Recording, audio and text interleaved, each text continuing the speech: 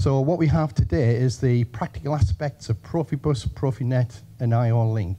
And we've got members giving talks, and we've also got eight members with stands around the room as well. So my name's Derek Lane. I'm the product manager for automation for WAGO, and until recently was the vice chairman of the group. And that was for probably just over 20 years. So I've been a member for 25 years now. I'm retiring next year, so I stood down, and the committee has voted Peter. So Peter Thomas is now the vice chairman. So I'll be handing over to Peter just now. So officially now, Peter um, from the AGM is vice chairman of the organisation.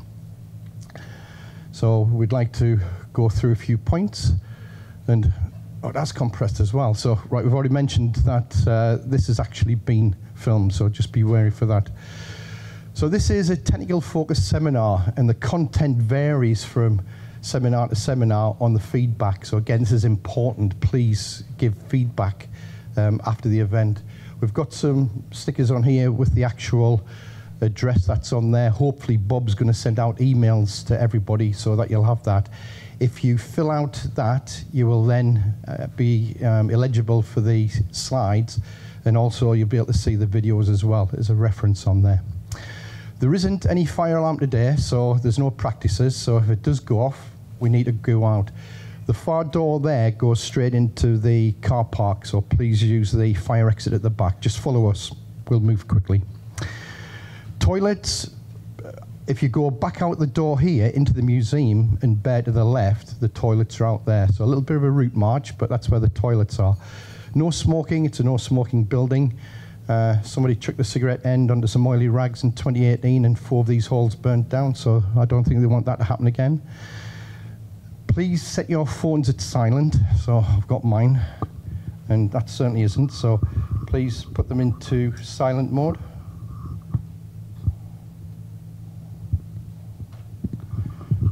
Do that when you get a chance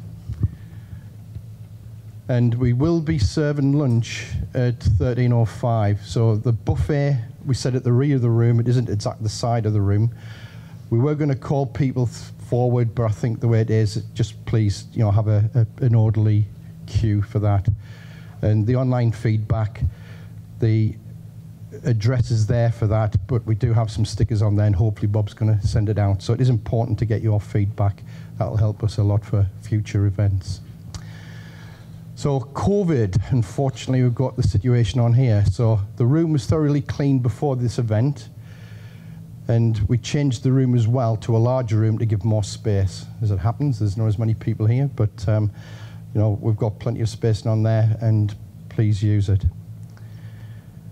The food and refreshments will be called when we're ready, but don't worry about that. Just do not um, bunch up, just give plenty of space, and please be you know wary of people in front. The catering staff will be wearing masks and gloves. That's been at the bequest of some people who's actually you know replied to some of Bob's emails on there. So please respect others, and we recommend these following guidelines: wear a face covering when moving around. I don't think many of us are. Maintain a reasonable social distance and regular use of hand sanitizers provided. So most of the stands you'll see there is hand sanitizer, so please beware and use that. And food and refreshments, we'll call out when it's ready, and the catering staff will be wearing masks and gloves. So this, I'm afraid, isn't very clear, but the agenda itself on there. So I'm going to have to put my glasses on to read it here. So nine o'clock we've got until 9.35 for the welcome. So that's split between myself and Peter Thomas. 9.35 to 10.20 we've got Industry 4 and the Industrial Internet of Things. That's myself. We will then have a coffee break and time for you to look around the exhibition. So please make certain you do go around and talk to the exhibitors. It's very important that. And they've got things to show. And we'll have an introduction before we kick off on what's available on there. Then at 10.50 to 11.35, we've got the Network Gateway Technology by Peter Thomas. And 11.35 to 12.20, we've got the Profinet Network Design. That's Andy Williams of Siemens. 12.20 to 13.05, Industrial Networking, Commissioning and Testing with Dave Tomlin of Hightex. We've got a, a nice break of 13.05 to 1400 for lunch, and again, the opportunity to look around the exhibition itself and talk to the exhibitors, please. So 2 o'clock to 2.30, Profibus and Profinet device configuration tools. That's Phil Waterworth uh, of Endress and Hauser. 14.30 to 1500, distance learning, how to get Profibus or Profinet certified remotely. That'll be Peter Thomas. Then we have 1500 to 1530, and that's going to be an update on Ethernet, a very important part and a new part, which is going to be the advanced physical layer, again by Phil Waterworth of and Hauser. I'll touch a little bit on that in my presentation as well. We will have a coffee break. This has been added in there. Um, so what we have is from 15.35 to 15.45, we've got 10 minutes, have a quick coffee, refreshment, last chance to see the exhibits, and then it's a matter of um, a quick intro and a look around the museum with the museum director later on. Lots of exhibits to see, lots of interest in there, so some nice things to look at. Lots of heritage on there. So PI's technologies, so PI, we go as PI UK. So the PI is actually Profibus and Profinet International. So I suppose it should be PPI, but PI is for Profibus and Profinet. Profibus came first, Profinet followed later on. So the technologies that's looked after is Profibus. So this is certainly when it comes to you know RS485 type of technology, the leading technology worldwide. Things moved over to Ethernet in the early days. That was a bit of a no-no because of IT and IT and controls just didn't come together. So most of the leading protocols are now on Profinet, and you'll learn more about that later on. IO-Link isn't a field bus, it's a communication standard, but that's important for us at the bottom end. And Omlox, Omlox is an unusual one, you may not have heard about it, and it's to do with location. This could be people, but predominantly it's product. So within a plant with Wi-Fi and stuff on there, you can physically track where things are so they don't get lost. So that's an important part on there. So PI as a group are looking after those. For a short while, they actually looked after Interbus S, but that's more or less died and gone by the by these days.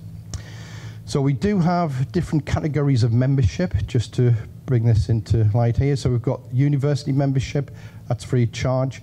So we've got the um, capability where you can get information off the web for anybody at university, a student or academics on there. We've also got the user membership, which is going to be anybody using products, so end customers. That's a £600 per year um, membership fee. We have the supplier membership, so that's distributors and integrators, consultants. That's doing work with Profibus and Profinet. That's £1,000 a year membership. We've got the vendor membership, which is going to be a manufacturer, and that's £2,000. And senior members, there's a few of us on there where we pay an additional £2,600, and that automatically gets you onto the steering committee. So there's different levels on there. Anybody's interested, drop uh, Bob Squirrel a line on there, and we'll sign you up. this is going to be. Right, I'm just going to hand over to Peter now. Okay, good morning. Uh, my name is Peter Thomas. Uh, I'm just going to say a couple of words uh, here concerning PI at the international level as Derek said, now that Derek's retiring, I'm taking over his role as the deputy chairman of PI UK. But I have a role within PI at the international level, that being the chairman of the training centres working group. And basically, we're responsible for defining the learning outcomes of all of the certified Profibus and Profinet engineering courses. You can see that PI um, at a regional level is represented by 24 regional associations, of which we are one of them, PI UK are one of them. And then below them sit a number of individual organisations. We have competency centres. These are people uh, accredited to give technical support on Profibus and Profinet. We have training centres. These are the guys that are certified to give the certified training courses. And we also have test labs. And the idea of test labs is that uh, during the training, we always encourage end users to make sure that they're always using certified devices. And what certified devices are is where the test lab takes an example of a given product puts it on a, test rig, and then basically does a fit for purpose. He checks that this guy doesn't adversely affect other bits of equipment, and the other bits of equipment don't adversely affect it. And end users are always told, look for certified devices. As you can see now, although PI started uh, really fronting Profibus and developing Profibus, they then went on to uh, the industrial Ethernet arena and came up with Profinet. And then they're moving uh, uh downwards and sideways in terms of IO-Link and Omlox, as um, uh, Derek has just said. Just wanted to show you a couple of slides because this tells quite a lot. Uh, on an annual basis, PI try to keep a track on where things are going with the two um, uh, leading um, technologies, Profibus and Profinet, from their point of view. This is basically showing that as of last year, there was getting on for 70 million Profibus devices out there on a global basis. If we look at Profinet, which came about maybe 10, 15 years ago. That's some way down, 42 million. But this tells quite a story in that if you are a device manufacturer planning your budget for the next five, 10 years, where do you think people are going to be putting their money? And it's fairly obvious that there's going to be, it looks like Profinet is taking off and Profibus globally is, is flatlining. And that generally is, is the case. And when I go round on site for site support visits, then I would say if I go to um, logistics companies, Ocado, Amazon, companies like that, if I go to baggage handling at airports, if I go to automotive industry, it's predominantly industrial Ethernet. If they use Profibus, it was at some time ago. If I go to the water industry, if I go to the chemical industry, the process industry, that is predominantly Profibus and will remain so for some time. But those guys have got a bit of a problem because of the availability of spares over time. I'm not talking of the next few months, but I'm talking over the next few years. The writing is on the wall that these people will eventually have to move over to some other kind of technology. So basically, Profinet in our particular case. In terms of getting certified for these technologies, then as you can see here, you can become a certified Profibus and Profinet installer, and that's not just aimed at the guys pulling the cables, it's basically anybody that needs to know what the fundamental issues are with regards to Profibus and Profinet at a physical level. We can then go to a, a, much higher level at the engineer where people can understand the protocol and also fault find to that particular level. And there is also a Profibus system designer. We do a commissioning and maintenance for those people that don't want to go all the way down to the engineer and they just want to understand how to audit a Profibus or Profinet network. And then PI UK can uh, arrange for developer training for any organisations that want to develop um, Profinet devices. At the moment, then, in terms of the training, it can be done on site at the premises of a company, or we also run it at the training centre of Endress and Hauser in Manchester on a regular basis. And there's a link here uh, that, uh, uh, where you can find details of the dates themselves. A couple of things just briefly to talk about in terms of next year. Um, there's going to be, we're going to be offering all of the certified training courses um, in an online format. PI were very keen on putting this lot online. And it, for the last year, we've been having meetings with international, other uh, international training centres. And uh, we in the UK have been given the authority to do that. So if this is something of interest to you, then just find me during the day and I'll give you a bit more information. But I am going to give a short presentation later on anyway. And finally, one of the things that is coming along is what's called Profinet PA. And some of you might have known this as the APL, the Advanced Physical Layer. It's basically a way of bringing uh, industrial instrumentation, what would typically Profibus PA, into the industrial Ethernet uh, arena. And I suspect that if the, the, pandemic hadn't happened, you'd have been buying these now. But my understanding is now that you're going to be able to buy these kind of things from about quarter two, uh, quarter two of next year. And in line with that, we're currently developing a certified Profinet PA engineer course. So that's all I wanted to say for now.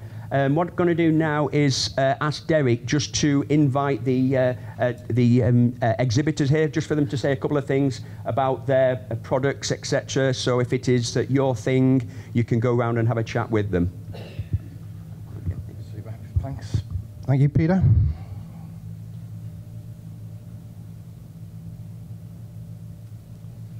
So you missed that one off. What we've got? So it's, uh, Just one thing. I don't need the microphone. Sir. Yeah, just one thing. Uh, you, you'll notice.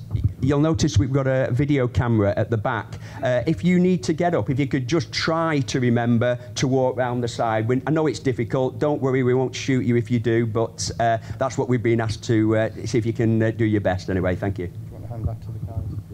So when I call your names out for the exhibitors, can you come down towards Peter, please? There's a microphone there, and um, actually, if you, you come and stand here, uh, you can give an overview of your product.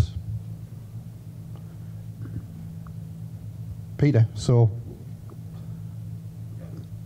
so that was still part of your presentation.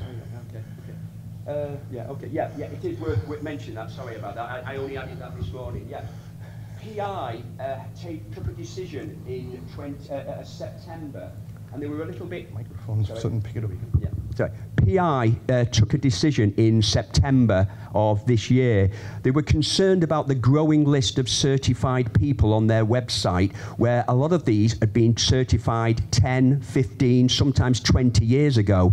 Um, and they took the decision in line with the PI group and said that from September, anybody that was certified five or more years ago would be removed from that web list.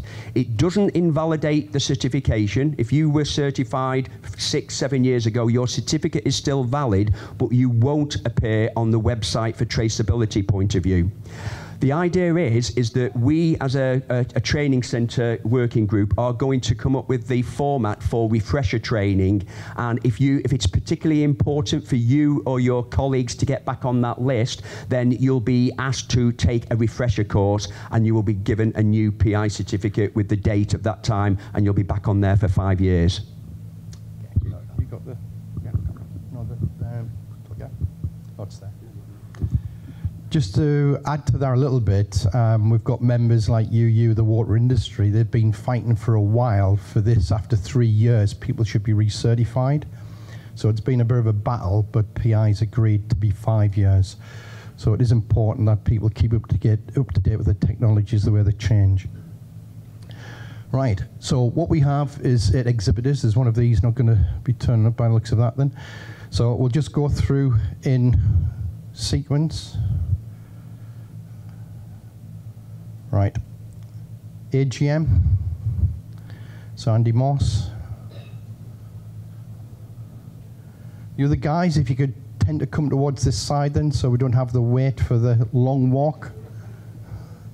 Good morning. My name's Andy Morse from AJM Engineering, where we provide software solutions using TIA Portal, and we've sort of expanded to uh, using CODESYS, but we also provide hardware solutions as well. So we cover everything from I/O solutions, Ethernet switches, PLCs, and HMIs. So I look forward to seeing you guys later. Thank you. Just pass it on, please, Andy. Yep. So Belcom, Paul Lomas, Yeah, good morning, everybody. As Derek said, my name's Paul Lomas. Uh, just like to give you a short introduction to Belcom Cables. Uh, we're a specialist cable distributor based close to working? Put it closer up. close enough. Yeah, is that better? Is that one? Yeah, we're based close to Stansted Airport in Essex. Um, we're senior members of PI, and I, I reckon that we stock the, the, the biggest range of Profibus and Profinet cables in the UK today. Got a short, um, got a stand at the back with some dis- with some sample cables on, and hopefully sometime during the day you'll get over to see us and we can have a chat. Thank you very much. Thank you, Paul. So Endress and Hauser, Phil Waterworth. Testing, testing. That one's all right. Was this one? You've got to be close. Okay. Hi, everybody. Uh, I'm Phil Waterworth from Endress Hauser. Uh, Endress Hauser were known as a, an instrumentation manufacturer for the process industries. Uh, we also do lab-based measurements as well. But we also offer services in these process industries. We're solution partners for people as well. Um, so we're, we've got a stand at the back today where we're showing some of our uh, tooling from a uh, a device configuration point of view across networks and some of our cloud-based offerings uh, in the world of IIoT. So come and come and talk to us. Um, we don't just do instruments. We've got some other things at the back we're showing you as well. And I'll also see you later for some for some discussions as well. Thank you, Okay. Phil. So Fortress, new members. So Kelly Denson, please. Don't think I need a mic, but definitely. So, um, They, they're picking it off that, so we do. We need so it's Kelly. Denson. I'm the business development manager at Fortress Interlocks, um, now Fortress Safety. So we originated with trapped key interlocks that you may or may not know, um, and then we moved into electromechanical interlocking. And in the last, I want to say, five six years, we've come into the Profi ProfiNet ProfiSafe uh, arena. We've got safety interlocks and we've got some control IO as well. But some of our new technologies, including RFID access uh, network keys and also some RFID safety keys that are all over on our stand for you to come and have a look at. Thank, you, Thank you. Kelly. Dave Tomlin of Hightex.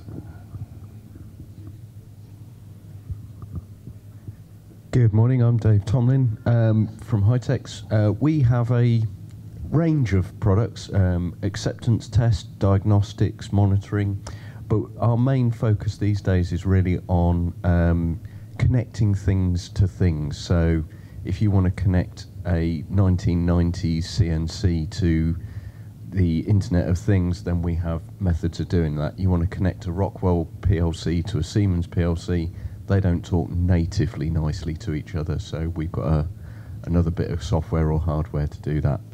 Anything along those lines, that's where, where we're at. Thank you, Dave. Phil Gray, HMS. Good morning, everyone. My name's Phil Gray. I work for HMS. We are a leading ICT company. Uh, we deal in network communication predominantly, also in remote access and remote data. So we have uh, four main brands in our organization. We have our Anybus brand, where we deal in either embedded network technology or a range of gateways. We have our Ewon brand, where we deal with remote access and remote data. We have our Intesis brand, which is predominantly building automation. And then finally, we have our Ixxat brand, which specializes in CAN automation, predominantly for the automotive industry. So if you want to know anything more, please come and see us later. Thank you. Thanks, Phil. Peter wants to uh, say a few words about Procentec. Yeah. Yeah, um, basic, unfortunately, Procentec have had to uh, pull out at the last minute. Um, let me just change that again. There we go. Yeah, had to pull out at the last minute from a, a non-COVID illness, I'll add. Um, and basically, uh, Sean Ogborn is the UK sales manager that you can contact. But if you have got any technical queries about Procentec products in terms of Profitrace, Atlas, Mercury, etc., you can come and see myself or also Chris here uh, is also conversant with uh, the Procentec range of products as well. Thank you, Peter. There. So WAGO, uh, that's myself, Derek Lane. So we're up in the corner over there. So WAGO um, is probably better known for our Springforce terminals. So it's always been the technology being screwless. We brought out IO in 1995. We revolutionized the industry by bringing out a modular approach and also supporting major field buses. And of course, Profibus has always been one of the major field buses, especially in Germany, but it is worldwide. And of course, with Profinet as well. So we have a range of products. We've got IO products, IP20, IP67, as well as industrial switches. So please take some time to come and chat to myself and Connor later on. And we've got a working rig up there as well. So there is live product on there. But it is safe. Don't worry about that. It's all uh, IP20 and stick, stickers on there. So no problems whatsoever. So I think that's it for the exhibitors.